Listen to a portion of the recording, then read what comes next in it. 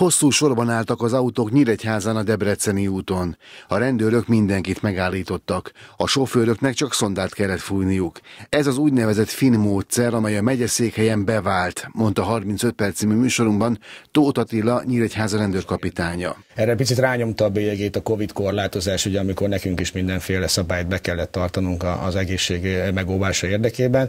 Most a korlátozások feloldása újra hatékonyan alkalmazzuk, és valóban igen azt mutatja a gyakorlat, hogy a reggeli órákban egyébként sokkal több ittas vezetőt szűrünk ki, de azonban ezt nem lehet általánosítani, tehát a nap bármely szakában számolni kell az idei esztendőben is az ilyen típusú ellenőrzésekre, amikor csak egy alkoholtesztert fújhatunk. De természetesen, hogyha a kollégáim emellett valami kirívó szabálytalanságot észlelnek, akkor abban is megteszik a szükséges intézkedéseket. Ezzel együtt a tavalyi évben 30 ezer intézkedést hajtottak végre a városban, amelyből 20 ezer esetben valamilyen szabálysértést észleltek. Ennek ellenére a személyi sérülésekkel járó balesetek száma 4%-kal emelkedett 2022-ben. Sebességet most már többféle módon ellenőrzünk. Egyrészt, ahogy ön is mondta, vannak ezek a fix telepítésű trafipaxok, akár a védakapukról beszélünk, vagy találkozhatunk most már itt a Szegfű utcán ezzel az úgynevezett trafiboxal, amiből tervezünk még a városban majd többet is kialakítani, de emellett valóban mozgásban is ellenőrizzük a,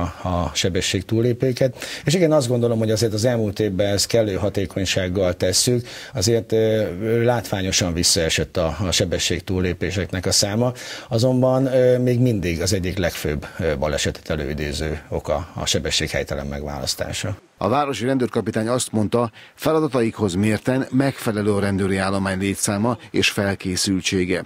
Bízik abban, hogy vonzó a pálya a fiatalok számára nagy érdeklődés van a rendőri pálya, pálya iránt a, a térségben. Nyilván ez főleg azért a, a keleti régióban ez azért hatványozottabban érvényesül.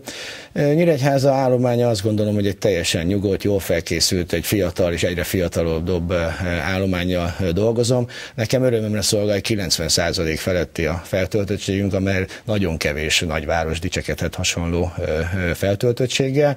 Szeretnek itt dolgozni a munkatársaim, élvezik, és igyekszünk egy gyakorlatilag gyakorlatilag az állampolgárokkal szorosan eh, együttműködve az ő érdekükben tevékenykedni, és tenni még vonzóbbá a fiatalok körében a rendőri pályát is. A 2023-as évben szeretnék fokozni a közlekedési ellenőrzések számát és intenzitását. Emellett a Szegfő utcai után újabb fix trafiboxokat fognak telepíteni Nyíregyházán.